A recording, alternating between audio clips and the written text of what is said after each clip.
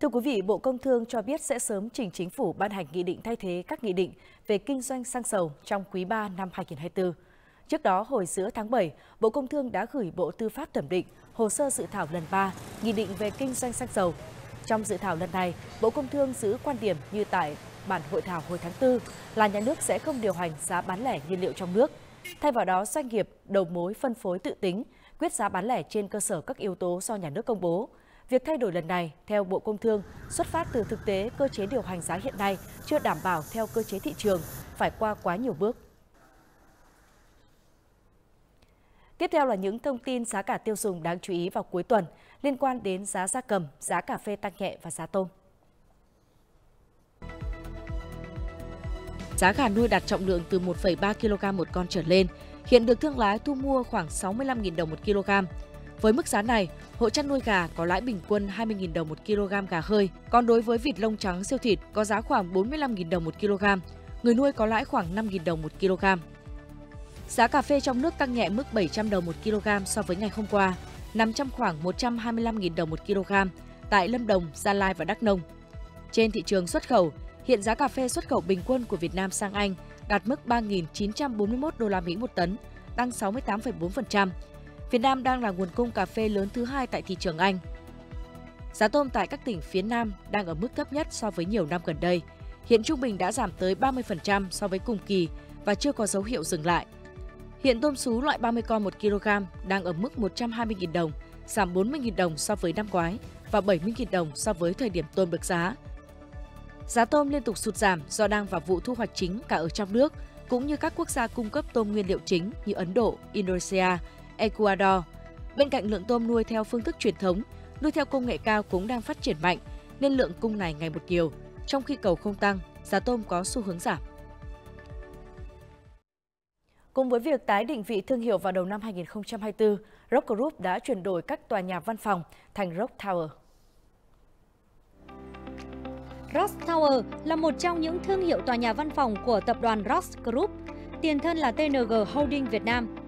Từ đầu năm 2004 đến nay, cùng với việc tái định vị thương hiệu, Ross Group đã chuyển đổi các tòa nhà văn phòng mang tên gọi chung là Ross Tower như một cách thống nhất cùng cam kết lớn nhất về chất lượng, dịch vụ mà Ross Group sẽ cung cấp cho khách hàng. Tòa nhà văn phòng Ross Tower Nguyễn Chí Thanh tại địa chỉ số 54A Nguyễn Chí Thanh, phường Láng Thượng, quận Đống Đa, Hà Nội là một trong những dự án văn phòng hạng A có vị trí trung tâm, hạ tầng đồng bộ, trang thiết bị hiện đại. Các tòa nhà văn phòng hạng A thường là nơi quy tụ nhiều doanh nghiệp, tập đoàn đa quốc gia thuộc các lĩnh vực tài chính, ngân hàng, bảo hiểm, xuất nhập khẩu, logistics, công nghệ, mở ra nhiều cơ hội hợp tác, kết nối kinh doanh. Thưa quý vị, thiên tai bão lũ luôn là nỗi lo chung của toàn xã hội. Mới đây, lũ rừng ngang về đột ngột trong đêm, cộng với cơn mưa lớn của cơn bão số 2, đã nhấn chìm làng Bùi Xá, thị trấn Xuyên Bai, huyện Trương Mỹ. Người dân làng Bùi Xá vật lộn từ đêm đến sáng để sơ tán người già và trẻ nhỏ đến nơi trú ẩn an toàn. Nhà chị Nguyễn Thị Luận bị ngập sâu nhất làng Bùi Xá. Lũ về quá đột ngột nên gia đình chị Luận cũng như người dân trong làng chỉ kịp sơ tán người già và trẻ nhỏ. Nước dâng nhanh, gia đình chỉ kịp ngắt điện, kê khích được vài bao thóc. Đồ đạc trong nhà đều ngập trong nước, thiệt hại cả chục triệu đồng. Ông bà về à, à, di tán đi với lại cả các con đi hết. Và bây giờ chỉ có mình em ở nhà để trồng đồ đạc. Vậy nước nó lên nhanh quá với lại kê chạy không kịp. Hôm này lúa thóc sáng nay phải đóng vứt hết lên đấy Còn nhà trong nhà thì ngập hết các thứ tủ kia thì dương nhiều còn nổi hết. Phải đóng cửa khỏi sợ trôi. tôi phố buổi Sáng tôi là hàng năm ấy, là địa bàn thấp nhất của thị trấn Xuân Mai. Hàng năm thường xuyên phải ừ, hay phải gánh chịu những cái lũ rừng ngang. Thì đặc biệt là chúng tôi công tác chuẩn bị chúng tôi đã làm rất tốt cho khi mà tối hôm qua mà khi xảy ra mưa bão trên diện rộng mưa lớn thì tất cả các bộ phận trong tiểu ban phòng chống lụt bão tổ của chúng tôi là ờ, thường trực. Năm nay, lũ rừng ngang đổ nhanh về, mực nước dâng cao khiến nhiều điểm ngập sâu từ 1,5 đến 1,8 mét. Có 125 hộ dân bị ngập, đời sống sinh hoạt bị xáo trộn, việc kinh doanh, buôn bán, tiếp tế của người dân sử dụng thuyền tự chế. Ở thời điểm hiện tại, mực nước rút chậm, bên cạnh đó cảnh báo mưa lớn của cơn bão số 2. Xả lũ thủy điện Hòa Bình nếu tiếp tục thì khả năng mực nước sẽ dâng cao hơn. Chính quyền đã bố trí lực lượng ứng trực 24 trên 24 giờ, thực hiện phương châm 4 tại chỗ, kịp thời ứng phó với thiên tai, đảm bảo di chuyển người, tài sản, gia súc, vật nuôi đến nơi an toàn. cái mức nước và cũng như lượng mưa kéo dài hai ngày nay thì ờ, hiện nay toàn bộ trên các cái cánh đồng của thị trấn Xuân Mai đã ngập úng và toàn bộ là không có vị trí nào để mà chứa nước nữa và chính vì vậy mà lại gặp cái xả lũ của Hòa Bình cũng như là lũ rừng ngang kéo về thì vào dạng sáng ngày hôm qua là bắt đầu mức nước lên so với các năm thì năm nay cũng rất là lớn. Trong khi chờ nước rút, đối với những người hộ gia đình còn bám trụ trong làng Bùi Xá, chính quyền địa phương chỉ đạo các đoàn thể, tổ dân phố đảm bảo nhu cầu nước sạch, nhu yếu phẩm cần thiết để người dân vượt lũ. Ngay sau đi, khi Nghị định số 50 về phòng cháy chữa cháy và cứu nạn cứu hộ được chính phủ ban hành, Công an huyện Thạch Thất đã khẩn trương triển khai tuyên truyền nhằm nâng cao kỹ năng nghiệp vụ của lực lượng phòng cháy chữa cháy cơ sở và hiệu quả của phương châm 4 tại chỗ. Trong đó đánh giá cao vai trò, tầm quan trọng của lực lượng phòng cháy chữa cháy cơ sở, xử lý các đám cháy từ khi mới phát sinh. Xã Canh Nậu, huyện Thạch Thất là một làng nghề hoạt động sản xuất nội thất, buôn bán sản phẩm gỗ vô cùng phát triển, Do tính chất các cơ sở sản xuất và lưu trữ các nguyên vật liệu phục vụ cho sản xuất đều là các chất dễ bắt lửa, tiềm ẩn nguy cơ hỏa hoạn rất cao. Qua đó, Công an huyện Thạch Thất phối hợp với người dân địa phương nghiên cứu và cho ra mắt mô hình xe ba gác nâng cấp, trang bị thêm bình chứa nước, máy bơm cao áp, thiết bị cứu hộ, trở thành xe chuyên chữa cháy. Trước đây thì hộ gia đình kết hợp sản xuất kinh doanh thì là đều phải đưa vào quản lý. Nhưng mà cái điểm mới của nghị 50 ấy là các cái cơ sở hộ gia đình kết hợp sản xuất kinh doanh mà có diện tích sản xuất kinh doanh mà trên 50 mét vuông thì mới đưa vào quản lý. Còn cái số cơ sở mà hộ gia đình kết hợp sản xuất kinh doanh có diện tích sản xuất kinh doanh dưới 50 mét vuông thì là chúng tôi không lập hồ sơ quản lý nữa. Nghị định 50 thì cũng có một số các cái điều chỉnh ờ, có trực tiếp liên quan đến ờ, một xã đặc thù như xã làng nghề, xã Canh Nậu. Thì ờ, trong quá trình triển khai thì cơ bản là cũng chưa có vướng mắc nhiều. Ờ, đối với ờ, xã thì ờ, có một cái vướng mắc chung đó là một cái xã làng nghề mà cơ sở liên quan đến phòng cháy chữa cháy mà thuộc cái phụ lục 4 do ủy ban nhân xã quản lý là rất lớn. Trong khi đó thì cái lực lượng ừ, quản lý cũng như là trực tiếp tham gia về phòng cháy chữa cháy cũng còn rất là mỏng. Với tính chất đặc thù làng nghề, khi không may xảy ra hỏa hoạn, việc kịp thời dập lửa ban đầu, khoanh vùng tránh lây lan có vai trò đặc biệt quan trọng. Mô hình chữa cháy với tính cơ động cao có thể dễ dàng tiếp cận những nơi chật hẹp hơn là các xe chữa cháy chuyên dụng. Qua đó có thể thấy tính hiệu quả và cơ động của lực lượng phòng cháy chữa cháy tại chỗ mà xã Canh Nậu đang vận dụng. Đối với cả mô hình nhà xưởng, là cái số lượng cơ sở sẽ bàn giao xuống xã tăng lên. Và đây cũng là một cái khó khăn vất vả cho lực lượng công an xã tại vì số lượng uh, cán bộ chiến sĩ ở công an xã rất là ít mà cái chuyên môn nghiệp vụ về công tác phòng cháy cháy cũng chưa được uh, đào tạo chuyên sâu. Uh, trong thời gian tới chúng tôi sẽ tiếp tục đẩy mạnh công tác tuyên truyền uh, để đến uh, người dân sẽ nắm biết thêm về những lợi thế mà khi cái nghị định 50 được thay thế bổ sung cho nghị định 136 để người dân hiểu thêm về uh, các cái uh, các thủ tục hành chính rồi những cái việc mà chấp hành pháp luật. Xử lý dập tắt các đám cháy ngay từ khi mới phát sinh là điều kiện tiên quyết để hạn chế thiệt hại khi có cháy nổ xảy ra. Có như vậy, người dân mới yên tâm ổn định kinh doanh sản xuất, thúc đẩy phát triển kinh tế địa phương, làm giàu trên chính mảnh đất quê hương mình.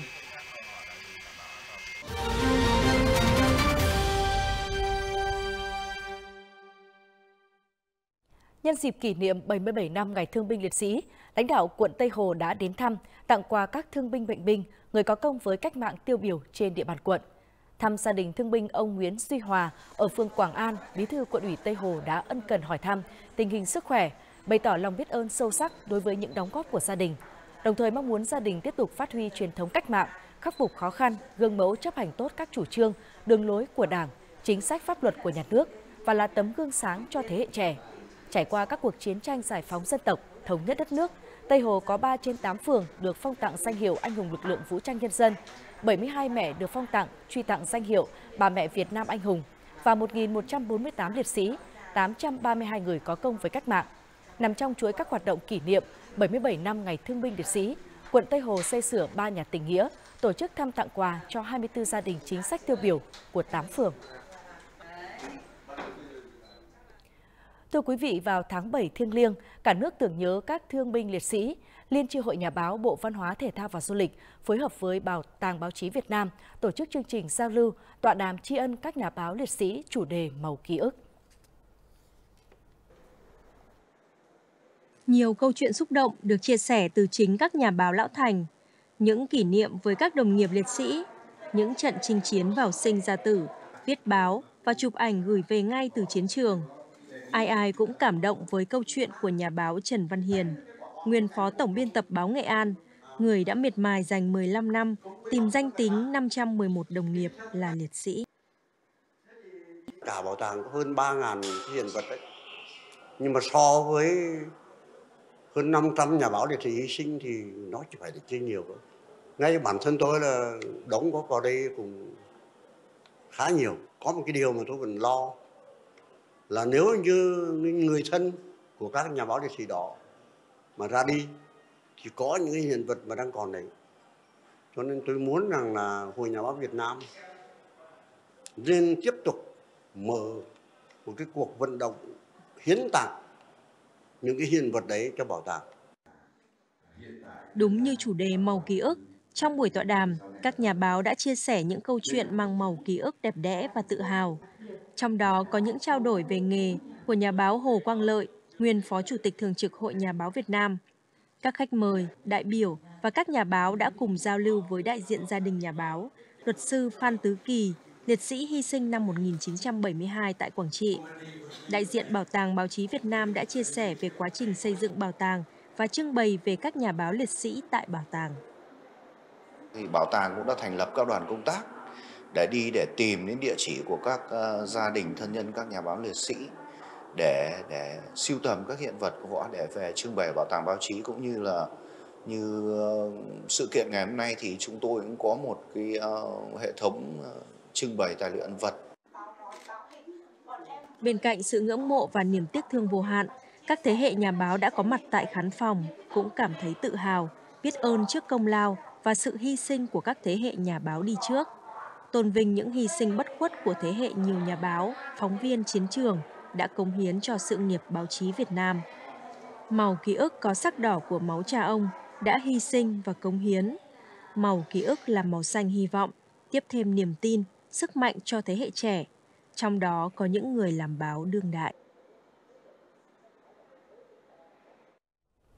Ở tuổi 80, bà Hồ Thị Lý ở thành phố Ninh Bình, tỉnh Ninh Bình luôn dành tấm lòng nhân ái, chia sẻ với những hoàn cảnh khó khăn, đóng góp cùng địa phương trong các hoạt động xã hội hóa, đảm bảo an sinh xã hội. Bà là một trong 10 công dân tiêu biểu của thành phố Ninh Bình. Năm nay, bà và các con cháu đã góp tiền cùng với chính quyền địa phương tu sửa lại đài tưởng niệm liệt sĩ của phường Tân Thành.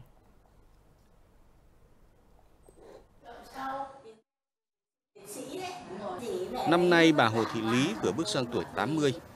Năm 1985, cuộc sống khó khăn, bà phải rời cơ quan nhà nước để ra ngoài bươn trải.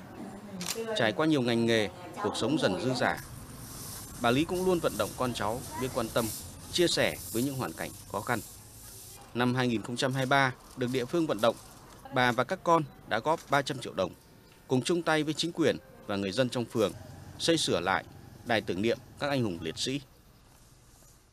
Gia đình là cũng có người hy sinh là liệt sĩ cho nên thì tôi nghĩ đơn giản là bây giờ mình có tâm với địa phương ờ, các liệt sĩ ở địa phương thì em tôi ở những địa phương khác thì người ta cũng sẽ có những cái ừ, tri ân lại với các liệt sĩ ở đấy thì trong đó có em mình xuất phát từ như vậy nên là những cái công việc nói về các liệt sĩ là tôi gia đình tôi rất quan tâm. Trước đó hưởng ứng chương trình vận động của phường Tân Thành, gia đình bà Lý cũng đã ủng hộ 1,4 tỷ đồng để tham gia lắp đặt hệ thống camera giám sát an ninh tại các tổ dân phố, mua sắm thiết bị trang âm và điều hòa cho các nhà văn hóa trên địa bàn. Gia đình bà cũng đã nhận đỡ đầu hai cháu bé mồ côi cho đến khi các cháu học hết cấp 3. Riêng gia đình nhà tôi thì trong một năm qua cũng có những cái hoàn cảnh khó khăn. Thế là bố cháu thì mất sớm, các cháu ở với ông bà. Thế gia đình nhà bà Lý và gần đây và thấy cái tình hình như vậy nên là các bác ấy là hỗ trợ cho các cháu trong một năm học, mỗi cháu được 9 triệu, và chúng tôi cũng hết sức là cảm động. Trong những năm vừa qua thì bà Lý cũng như gia đình bà Lý là à, rất quan tâm đến à, công tác à, đền ơn đáp nghĩa và an sinh xã hội trên địa bàn phường. Ờ, đặc biệt là các dịp lễ Tết và 27 tháng 7 và hỗ trợ cho phường xây sửa lại cái đài tưởng niệm liệt sĩ trên địa bàn phường. Việc làm của gia đình của bác Lý cũng đã góp phần rất lớn vào công tác an sinh xã hội cũng như công tác từ thiện trên địa bàn phường. Những đóng góp tích cực của gia đình bà Lý đã được thành phố Ninh Bình ghi nhận nhiều năm liền. Gia đình bà được công nhận là gia đình văn hóa tiêu biểu. Bản thân bà Lý được phường khen thưởng có thành tích xuất sắc trong phong trào thi đua các năm. Bà cũng là một trong 10 công dân tiêu biểu được thành phố Ninh Bình tuyên dương tại lễ kỷ niệm 70 năm thành lập.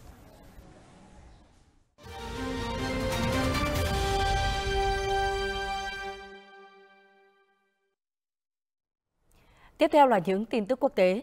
Thủ tướng Israel Benjamin Netanyahu tuyên bố sẽ không im lặng trước cuộc tấn công bằng tên lửa khiến 12 người, bao gồm cả trẻ em, thiệt mạng tại một sân bóng đá ở cao nguyên Golan do Israel chiếm đóng. Nhà chức trách Israel quy trách nhiệm cho Hezbollah gây ra vụ việc này và tuyên bố sẽ đáp trả nhóm vũ trang này. Hezbollah phủ nhận mọi trách nhiệm về cuộc tấn công đẫm máu nhất ở Israel và vùng lãnh thổ do Israel kiểm soát kể từ khi xung đột ở Gaza nổ ra. Ông Netanyahu đã phải từ Mỹ trở về Israel ngay trong đêm thứ Bảy và triệu tập nội các an ninh ngay khi về nước. Tổng thống Israel Isaac Herzog lên án vụ tấn công là một thảm họa khủng khiếp và kinh hoàng và tuyên bố Israel sẽ bảo vệ công dân của mình. Trước năm 1967, cao nguyên Golan thuộc Syria, Israel chiếm phần lớn khu vực này trong cuộc chiến tranh Trung Đông và sát nhập vào năm 1981. Việc sát nhập đơn phương đó không được hầu hết các quốc gia công nhận và Syria yêu cầu trả lại lãnh thổ. Hơn 40.000 người sống trên cao nguyên Golan do Israel chiếm đóng, hơn một nửa trong số họ là cư dân Druze, một nhóm thiểu số Ả Rập theo một nhánh của đạo hồi. Hội nghị Bộ trưởng Ngoại giao ASEAN đã bế mạc tại Viêng Chăn, Lào. Phát biểu tại cuộc họp báo sau lễ bế mạc, Bộ trưởng Ngoại giao Lào cho biết các cuộc họp của Bộ trưởng Ngoại giao ASEAN đã đạt được tiến triển về nhiều vấn đề chiến lược, chính trị và kinh tế. Bộ trưởng Ngoại giao Lào Salum Sekomasit nhấn mạnh tầm quan trọng của việc tăng cường sự thống nhất và vai trò trung tâm của ASEAN trong quan hệ ASEAN đối với các đối tác bên ngoài. Chúng tôi nhấn mạnh tầm quan trọng của việc tăng cường sự thống nhất và vai trò trung tâm của ASEAN trong quan hệ ASEAN đối với các đối tác bên ngoài, bao gồm các cơ chế do ASEAN lãnh đạo như ASEAN Cộng 1, ASEAN Cộng 3, Hội nghị Thượng đỉnh Đông Á, Diễn đàn khu vực ASEAN và Hội nghị Bộ trưởng Quốc phòng ASEAN Cộng, nhằm xây dựng lòng tin cũng như củng cố một cấu trúc khu vực cởi mở, minh bạch, kiên cường và toàn diện lấy ASEAN là trung tâm. Chúng tôi tái khẳng định cam kết tăng cường hơn nữa diễn đàn Đông Á để lãnh đạo các nước đối thoại và hợp tác mang tính xây dựng về các vấn đề chiến lược, chính trị và kinh tế rộng lớn vì lợi ích chung nhằm thúc đẩy hòa bình, ổn định và kinh tế thịnh vượng ở Đông Á. Hội nghị diễn ra từ ngày 21 tháng 7 đến ngày 27 tháng 7 đã thảo luận về cơ hội kinh tế cũng như vấn đề Myanmar, Biển Đông, Ukraine và Trung Đông. Hội nghị thượng đỉnh cũng có sự tham dự của đại diện từ các quốc gia khác, bao gồm Mỹ, Trung Quốc và Nga. Lào sẽ tổ chức hội nghị thượng đỉnh Hiệp hội các quốc gia Đông Nam Á vào tháng 10 tới. Bộ trưởng Ngoại giao Trung Quốc Phương Nghị và Ngoại trưởng Mỹ Antony Blinken đã có cuộc gặp tại Viêng Chăn, Lào để trao đổi quan điểm về quan hệ song phương, nhất trí duy trì liên lạc ở mọi cấp độ và thực hiện thêm các thỏa thuận chung quan trọng đã đạt được tại hội nghị San Francisco vào tháng 11 năm ngoái giữa hai nguyên thủ quốc gia. Trong cuộc gặp với ông Blinken, Bộ trưởng Ngoại giao Trung Quốc Vương Nghị, cũng là Ủy viên Bộ Chính trị Đảng Cộng sản Trung Quốc, cho biết trong 3 tháng qua, các nhóm ngoại giao, tài chính, thực thi pháp luật và khí hậu của hai bên, cũng như hai quân đội, đã duy trì liên lạc, cùng với việc tăng cường giao lưu nhân dân. Tuy nhiên, Bộ trưởng Ngoại giao Trung Quốc Vương Nghị cho rằng quan hệ Trung Quốc-Mỹ vẫn đang phải đối mặt với những rủi ro và thách thức ngày càng gia tăng và cần có các hỗ trợ hạ nhiệt và ổn định, quản lý rủi ro, giải quyết thỏa đáng những bất đồng và thúc đẩy hợp tác. Gió và xét đánh đã gây ra các vụ cháy rừng trên khắp vùng Tây Bắc Thái Bình Dương của Mỹ trong tuần này, bao gồm cả vụ cháy lớn nhất ở Mỹ đang lan rộng nhanh chóng gần biên giới Oregon, Idaho. Đám cháy Duki gần Huntington, Oregon đã tiêu thụ 1.600 km vuông, rộng hơn một nửa diện tích của đảo Rhodes, đe dọa một số thị trấn. Đám cháy bùng lên do xét đánh vào ngày 17 tháng 7 và gió giật lên tới 100 km/h, đã thổi bùng ngọn lửa lan nhanh qua các bụi rậm, đất rừng và trang trại, giết chết hàng trăm gia súc. Các quan chức cho biết đám cháy mới chỉ được khống chế 20%. Cho đến nay, theo dự báo thời tiết, mặc dù trong tuần tới không có mưa, nhưng gió đã giảm và không khí lạnh đang tràn về. Bộ trưởng Giao thông Pháp Patrick Vergriet cho biết giao thông trên mạng lưới đường sắt cao tốc của Pháp sẽ trở lại bình thường vào thứ Hai, sau khi khôi phục hoạt động của các trạm tín hiệu và cáp bị phá hoại gây tình trạng hỗn loạn giao thông hôm thứ Sáu. Nhiều hành khách hiện đang chờ đợi ở ga Montparnasse cùng với hành lý của họ và hy vọng có thể tiếp tục chuyến đi. Bộ trưởng Nội vụ Pháp không loại trừ khả năng có sự tham gia của nước ngoài vào cuộc tấn công phá hoại các trạm tín hiệu và cáp trên mạng lưới đường sắt cao tốc của nước này, gây ra tình trạng hỗn loạn giao thông vào ngày khai mạc Thế vận hội Olympic. Các cuộc tấn công trước khi trời sáng hôm thứ Sáu đã làm hư hại cơ sở hạ tầng dọc theo tuyến đường nối Paris với các thành phố như Lille ở phía Bắc, Bordeaux ở phía Tây và Strasbourg ở phía Đông. Một cuộc tấn công khác vào tuyến Paris-Marseille đã bị ngăn chặn. Hiện chưa có bên nào nhận trách nhiệm về vụ việc.